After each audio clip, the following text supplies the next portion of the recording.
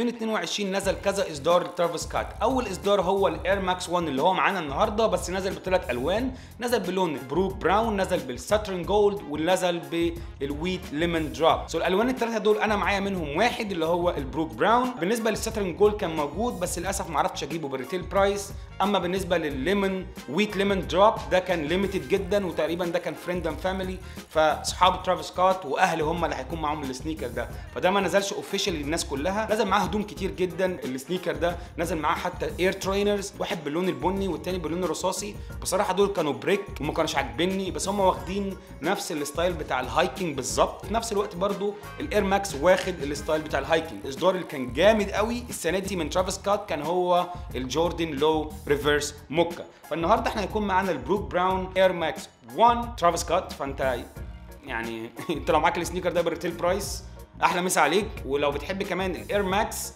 فانت يعني يعني مش عارف بصراحة. انت شوف وقول لي. انت لو عارف ال Air Max 1 شكله عامل إزاي ال Air Max 1 شكله مش كده خالص.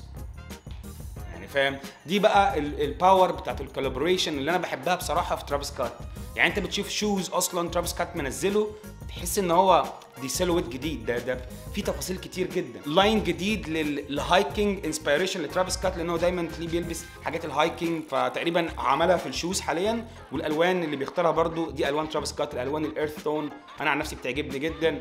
وتلاقي برضو نفس فكرة ال hiking موجودة في ال sneaker ده زي ما انت شايف ال lace round lace ال tongue التفاصيل اللي هنا دي كلها تاخده من ال hiking فكرة ال hiking أو الهدوم بتاعت ال hiking فتعال نخش في ال sneaker ونشوف إيه التفاصيل أو إيه ال details اللي جاية معاه إن أشهر حاجة موجودة في نايكي طبعا زي ما إحنا عارفين واللي هي عملت ال buzz في التسعينات والثمانينات اللي هي ال Air unit اللي موجودة.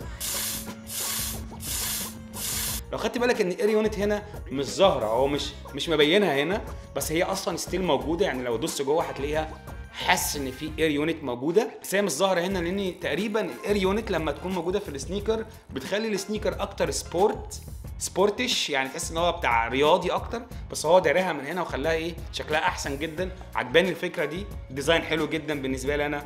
nice sneaker بصراحة الألوان اللي مستخدمها ترافيس سكوت ودي الألوان اللي هو أصلا بيستخدمها كتير. وأنا شخصيا big fan للألوان ديت اللي هي ألوان ال earth tone لون البني درجات البني ودرجات ال aged looking لو شايف ال midsole من هنا تحس إن هو مصفر فيبين إن إنك تحس إن ال sneaker ده قديم أصلا. بس هو لأ هو جاي كده أصلا فبيعجبني الفكرة دي جدا. ال material اللي جاية مع الترافيس سكوت shoe هو جاي معظمه بال nubuck material. ال nubuck material هي حاجة ما بين ال leather العادي وما بين ال suede بس معمولة بال sandpaper فما فيهاش الشعر اللي بيطلع من ال suede. ال material دي بتبقى ناعمة أكتر من ال leather العادي فهي هتكون جاية في ال toe cap من قدام جاية باللون ال brown ال brown الغامق اللي هو من قدام هنا وجاي من فوق باللون gold. فشكلها حلو جدا وأنا شايف إن هي تكون fabric أو مش material من هنا تبقى أحسن عشان ال creases ما تحصلش في الجلد أو في ال nubuck أو في ال suede.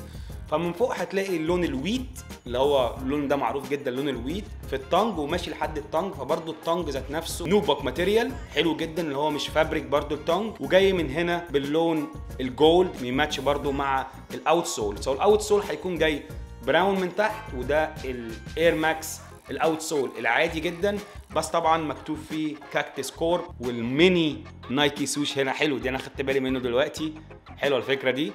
ال panel من جوه ال sneaker هتلاقي ال Nike swoosh معدول عادي جدا ما فيهوش أي مشكلة.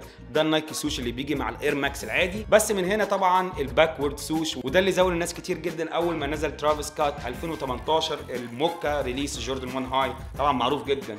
لما نزل ال OG sneakerhead أو الناس القديمة جدا في ال sneaker community اتزاولت من الموضوع ده لأن هو أنت إزاي تقدر تعمل ال swoosh backward؟ إحنا واخدين عليه من سنين جدا ال Nike swoosh معدول شبه ده. فأنت إزاي تعمل disrespect لل Jordan 1 وتخلي إن ال swoosh backward أنا بصراحة أنا شايف إن هي ما فيهاش مشكلة جدا إنك تغير حاجة في ال sneaker وتخليها شكلها جامد كده.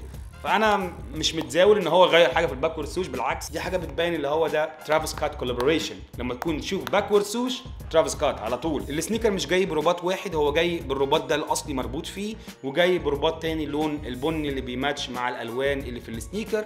أنا شايف إن اللون الأساسي اللي جاي معاه حلو لأنه بيماتش مع الحاجات اللي موجودة وبرده اللون البني هيمشي كتير جدا لأن ستايل ال sneaker فيه بني كتير قوي. فتقدر تغير ما بين الاثنين أنا شايف الاثنين حلوين. طبعا ال sneaker من ورا زي ما أنت عارف أي ترافيس سكوت release بيجي بفردة نايكي وفردة كاكتس جاك ده في كل ال releases كده على فكرة أنا خدت بالي. ال sneaker ده برضو بتاع ترافيس سكوت في فردة نايكي اير وفردة كاكتس جاك فدي حاجة معروفة جدا في الترافيس سكوت releases إن هو بيبقى فردة من الظهر بيبقى فيها اللوجو بتاع اير ماكس أو جوردن أو ترافيس سكوت في الناحية الثانية ونفس الكلام برضو لو شايف في ال insole هتلاقي النايكي هنا وهتلاقي الكاكتس جاك في الناحية الثانية أنا شايف إن ال insole وال interior بتاعت ال sneaker شايفها إن هي ناعمة ومريحة أكتر من اير ماكس العادي. فهم برضو مركزين في الراحة بتاعت ال sneaker. طبعا ال material كلها nubuck فهتبقى ناعمة معاك فمش هيبقى في أي مشكلة هتضايقك من ناحية الراحة في ال sneaker. أنا من رأيي لو انت بتحب الاير ماكس 1 ال sneaker دوت هيبقى 10 على 10 بالنسبة لك. أنا حد ال sneaker rate بالنسبة لي أنا هو هيكون 8 ونص من 10 لاني أنا مش big fan للاير ماكس لأن هي ما بتجيش على رجلي قوي. أنا عايز اعرف إيه أكتر ترافيس سكوت sneaker بتحبوه؟ اكتبوا لي في ال comment واعمل ال bell عشان تقدر تشوف الفيديوهات اللي هتنزل تاني عشان في ترافيس سكوت shoes هعمل لها برضو review على الشانل ديت. فأشوفكم في فيديو جديد وسنيكر جديد. سلام عليكم.